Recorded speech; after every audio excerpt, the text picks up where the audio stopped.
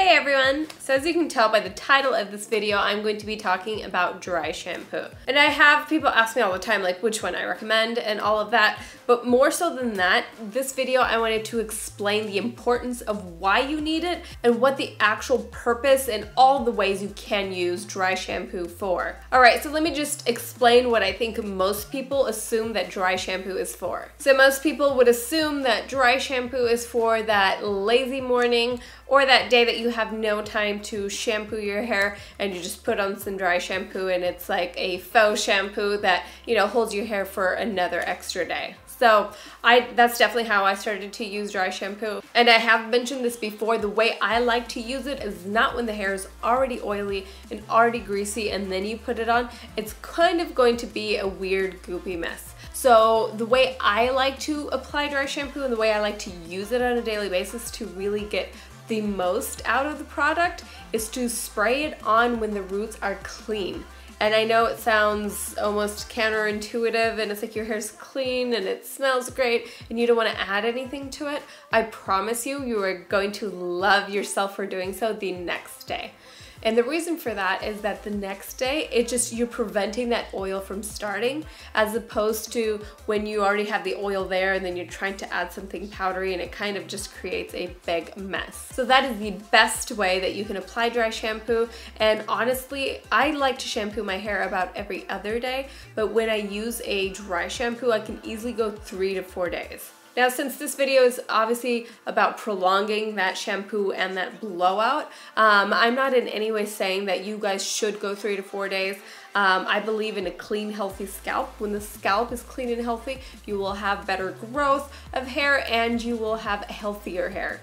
All right, and next is basically the two types of dry shampoos that there are. There is the very powdery, which I've mentioned before, and one of my favorite powdery ones is from the Dry Bar. And in my opinion, I think it smells great and it works absolutely great.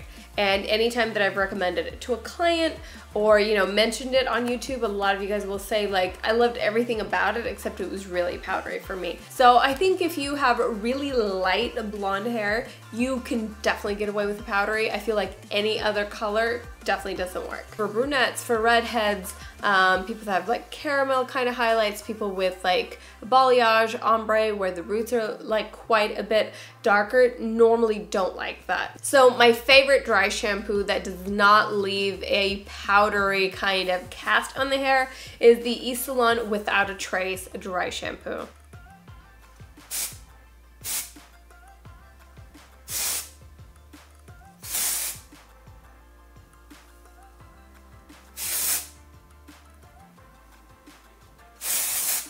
So what you want a dry shampoo to do is to really absorb the oils and the impurities in the hair. So really leaving your hair clean. So it's not just masking it with something else, it's actually absorbing and taking away what you don't want.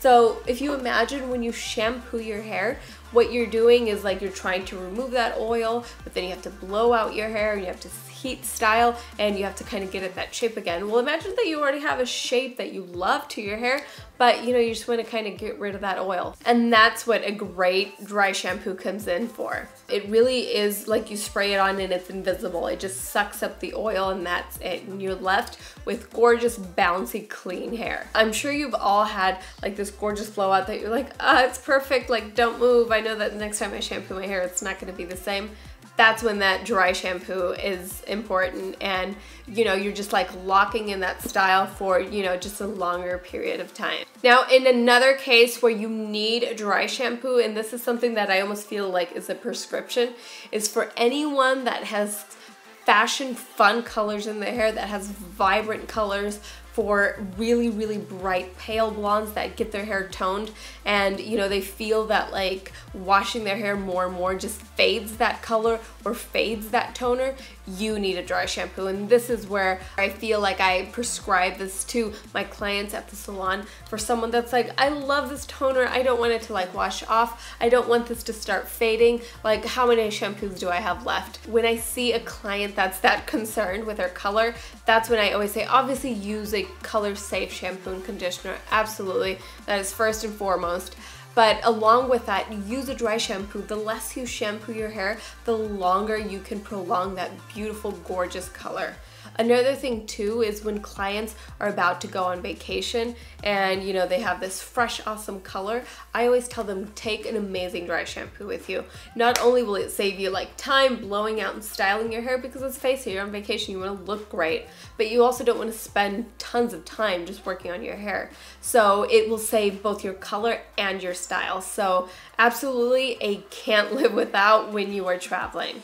If you're a first time customer with eSalon, they always do that if you buy three products, you get them for $15, which is an amazing, amazing deal. All eSalon products smell absolutely amazing, and they really are quality salon products. And as always, eSalon is so good to us and they give you 50% off on all products. So if you want to try this out, you can try it for half off, which is absolutely an awesome, awesome deal. And as some of you guys may know, I will be at BeautyCon this year on July 9th. And since I will be down in LA for that, eSalon has invited me to their studios and do a live Facebook Q&A. So definitely get your questions ready and you can ask me then. I am so excited to be doing this. And I love it when they give me fun opportunities that I can engage with my audience. So definitely get ready to ask me some questions on there. Anyway, I would love to know who's going to BeautyCon this year. Please let me know. I will definitely be looking out for you guys. It's such a fun girly weekend. You know, take your best friend and you are just surrounded by makeup and fun girly products. You get to try so much products. You get so many free samples. It's just a fun, fun girly bonding experience. So Alright guys, so I hope this video has taught you a little bit more about dry shampoo than you already knew. And if you already have dry shampoo at home, definitely go try these tips and tricks that I've mentioned today and hopefully it switches up your routine just a little bit.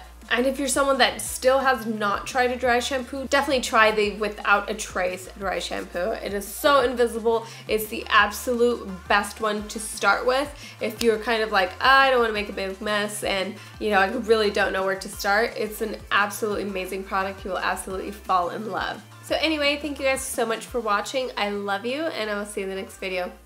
Bye. I have to go to the dentist tomorrow and extract a tooth and I'm so not looking forward to it now.